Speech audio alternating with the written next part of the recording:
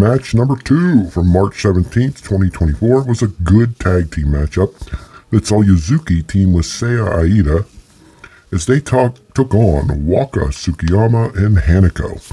This match was really to focus on Waka and Hanako because they've got an upcoming match for the new Blood Tag Team Champions against Saya Iida and her partner Hanan. So this is a different partner for Saya Iida here. And all four wrestled tremendously well, including Waka Tsukiyama, who gets the pin. Yes, I'm jumping ahead, but holy crap! Waka Tsukiyama pinned Yuzuki. Now we know there's several reasons for that. Number one, Waka and Hanako have an upcoming title shot for the New Blood titles. Number two, Yuzuki is leaving Stardom, unfortunately. So the rocket has been taken off of her back, and she is suffering losses more than she ever has. And it will probably stay that way because she will be departing soon, I think, in a number of weeks.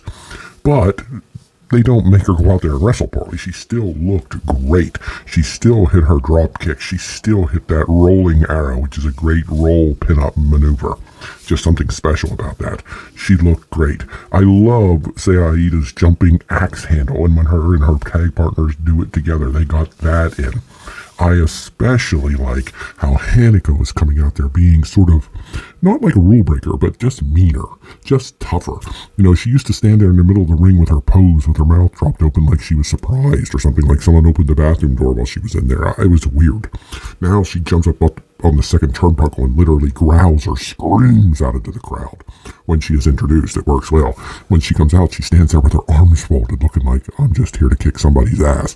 And her and cute little Waka Tsukiyama work together because Waka will surprise you with her work. She does the cute little things like hip checking you in the head, you know, using her uh, hindquarters to to hip someone and to, to hit someone in the head and then shakes her moneymaker, if you will. So she uses her looks for sure, but she's a solid worker and she'll surprise you with that.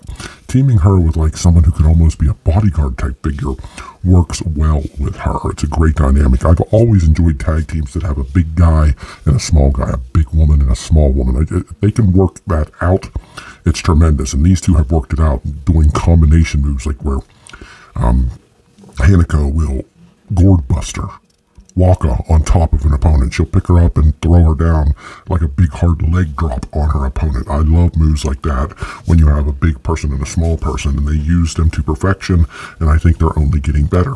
Saya Iida and Yuzuki worked well together. Of course, it would have been even better if it would have been um, Hanan out there, of course, but they're going to save that for the title match. So when Waka and Hanako win, they get in the face of Saya Iida, tell her they're taking those titles, and Iida just looks at them like, bring it on. So that was the purpose of this match. It worked well. It was a very good tag team matchup that I enjoyed very much. And it's just nice seeing Waka Tsukiyama actually get a win. Doesn't happen very often.